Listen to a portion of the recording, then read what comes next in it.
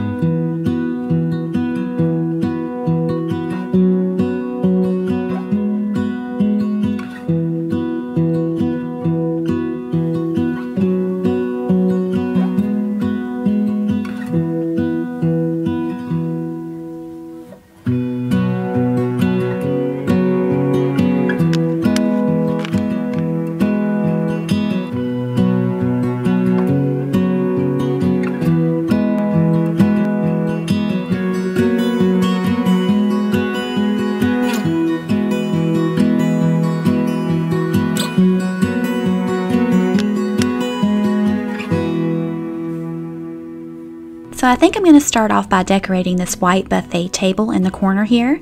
I did buy this burlap table runner on Amazon, so this is one of the newer things. You really can't go wrong with burlap. It actually works wonderful to decorate with in any season, but I especially love to use it during spring for some reason. And I just love the rustic look of burlap as well as the feel of it. And I'm going to use some twine that I have here and gather the ends together just to give it some extra character. I'm trying to keep that rustic feel while adding a little bit of elegance to it all.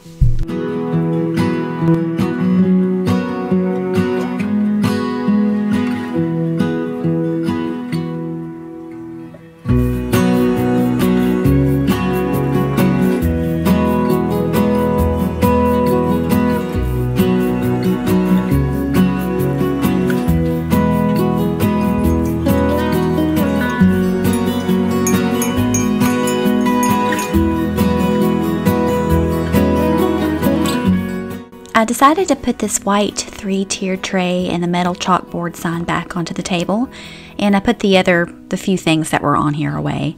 And I have these four really really pretty pastel ceramic teacups that I bought at Hobby Lobby a few years ago. And I'm going to put little pieces of this fabric in the teacups. And I used my pinking shears to prevent the fabric from raveling. But this is extra fabric that I used for our hutch that we have in the corner and we just made these curtains the other day, my husband and I. But I thought this color, the color and pattern would look really, really pretty during springtime. And the extra fabric would be a nice way to kind of tie everything in in here. And it's also a great way to recycle as well.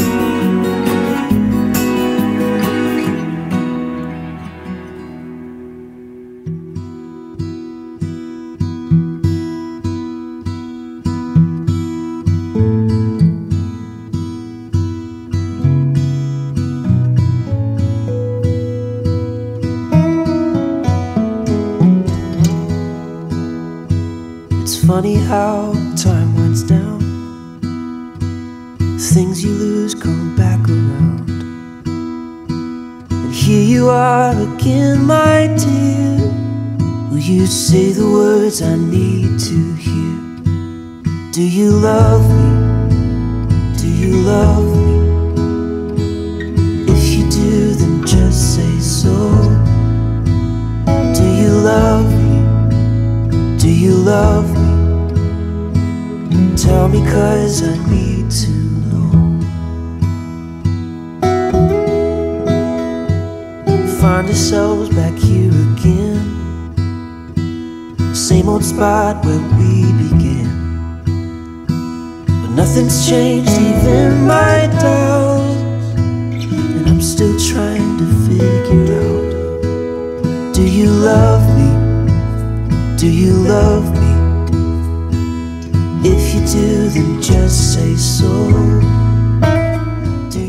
Okay, so I have this box of dried botanical flowers that I bought online on Amazon, but they were meant for candle making. My kids and I are doing a unit study in homeschool on the Witch of Blackbird Pond, and we're learning to knit and make candles, among other things. But we have so many of these flower packets, and they're just beautiful, and I was really impressed with the quality.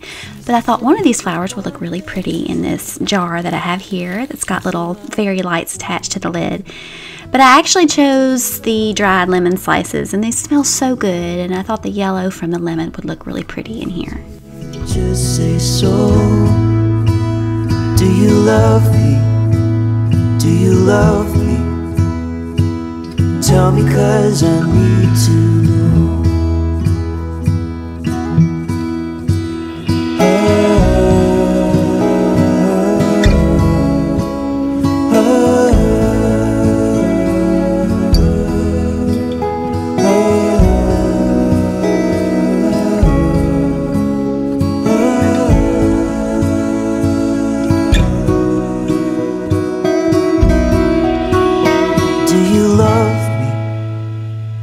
Love me? If you do, then just say so. Do you love? So now for the lower part of the tier, I have another silk hydrangea stem that I'm going to place in this container here and going to add a few wooden bunnies to the tray and then going to move to the other side of the buffet table. And I have a little white planter and one of the new tea towels that I bought on, off of Amazon. I think they came in a pack of four. They were fairly inexpensive and they feel of pretty good quality. I'm going to put a little Mrs. Bunny in here, and then I'm going to move on to the hutch that's in the corner that have those pretty curtains.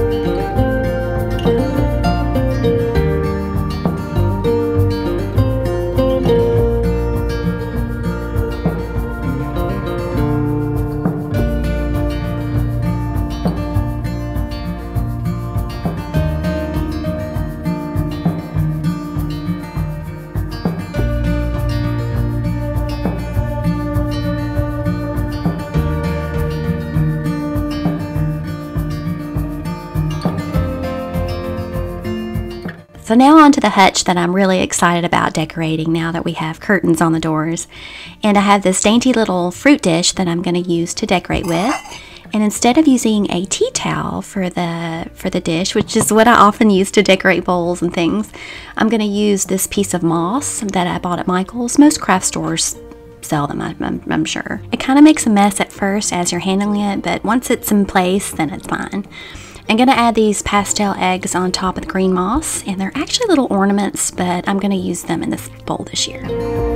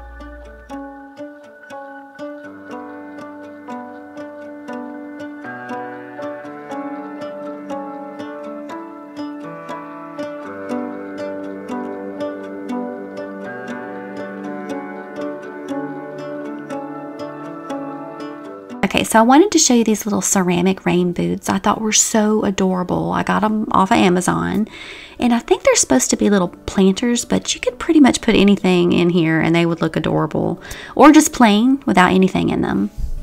But I think I've decided to put these sprigs of greenery in here and then I'll put them in the hutch. And I will leave links down below to everything in case you're interested in any of these decorations.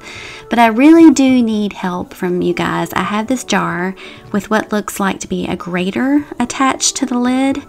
Um, I bought this at a consignment shop a long time ago, and I was very drawn to it for some reason, not even knowing its reason for being. So I need someone to tell me what this thing is and what its real purpose is. I would love to know. But in the meantime, I'm going to add some of these dried flowers to it just to brighten it up. But I did end up choosing the yellow marigolds.